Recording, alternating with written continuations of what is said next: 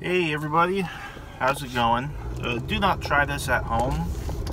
Um, I'm only doing this out of convenience. It's easier to vent, I guess, while I am working.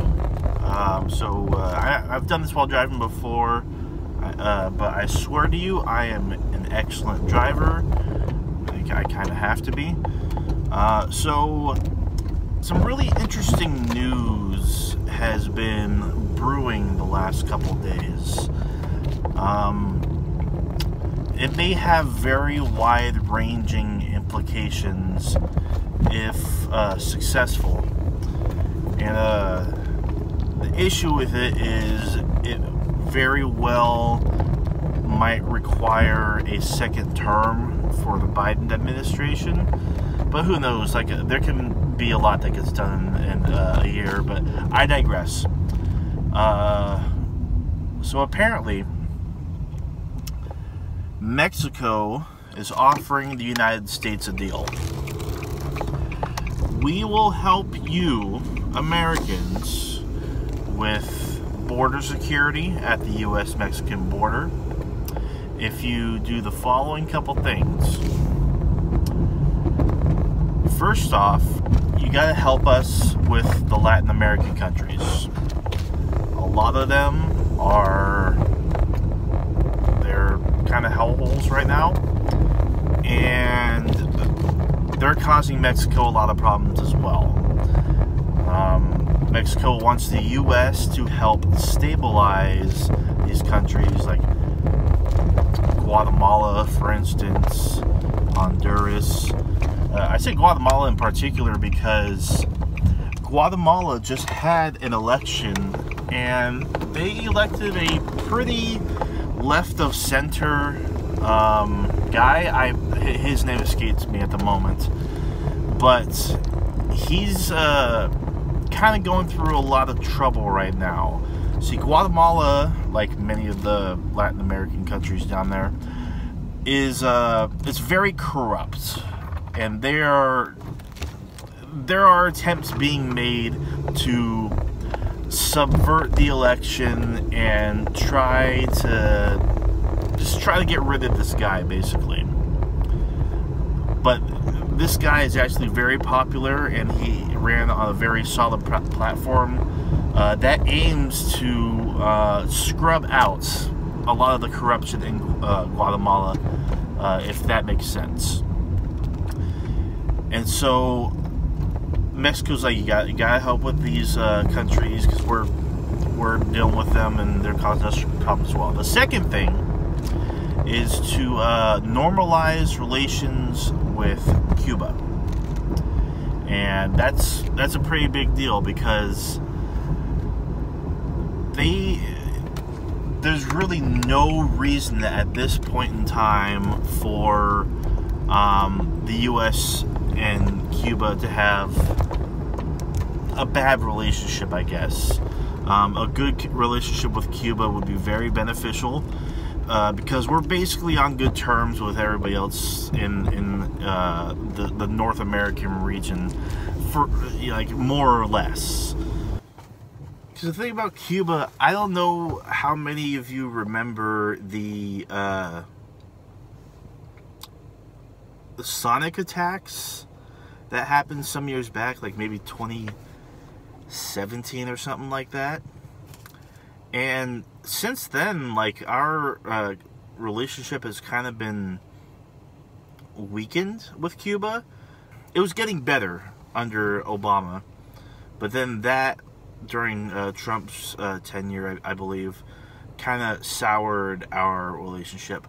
But the thing is, um, I think in like uh, the you know recent years, like the past year or so, the narrative surrounding those apparent sonic attacks that uh, allegedly damaged the hearing of U.S. diplomats uh, during a meeting in Cuba. Apparently, that that narrative's falling apart. Um, I think there was some reporting done on it, and it turns out like uh, those like those uh, apparent sonic attacks probably weren't real. I don't know the details, but I do remember uh, hearing about that. So that alone would have uh, big implications. And to tie it to border security um, is uh, you know, it, it, it's smart. It's politically smart. And uh, they added one more thing. Mexico did. You gotta normalize relationship your relationship with Venezuela. That was already underway. This would uh yeah this is all this is all very very good politically. And so Mexico will help uh, secure the U.S.-Mexico border if um, if the U.S. Uh, follows through on these uh, on these terms. What I take away from it is, yeah, this would be great because even even Democrats won't are, are starting to harp away at uh, border security and whatnot. And Jesus, stupid people. Not me though. I'm smart. um, this has been a an issue like border security in general is it's like the scapegoat of Republican politicians, Republican pundits. And I'm curious if if this deal is manifested, will Republicans go along with it? Because for the longest time, they've they, have they have been like Biden's too weak on the border. Biden's too weak on the border. There's too much. There's too much immigration. Biden's border policies are failing, even though they're really not that different from Trump's. And so, will they actually go through with it?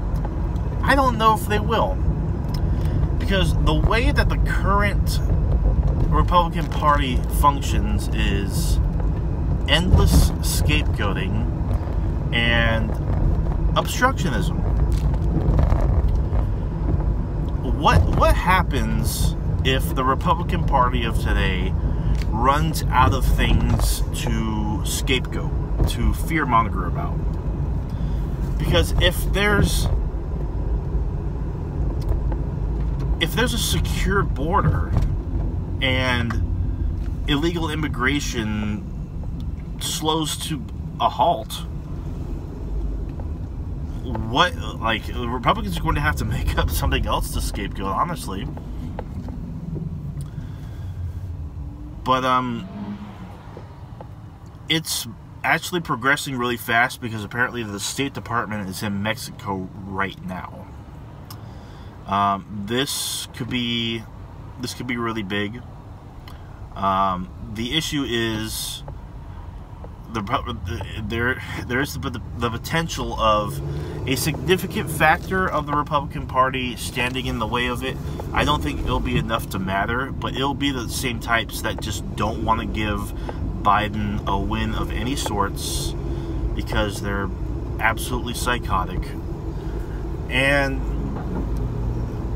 could Biden even win re-election to see through uh, this deal? Because it's not going to take a year.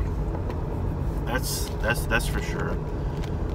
You know, I'm so over the administration uh, myself, but um, who knows? Uh, I just wanted to like vent about that. I think it'd be a, a really interesting thing to see happen. Um, I mean, for crying out loud, the United States royally screwed up these Latin American countries uh, in the 20th century, so the least we can do is lend a helping hand because the people hopping our border aren't coming from Mexico. They're coming from these countries that we tore apart just south of Mexico. So, uh, yeah. Uh, thanks for watching and uh, stay tuned for more.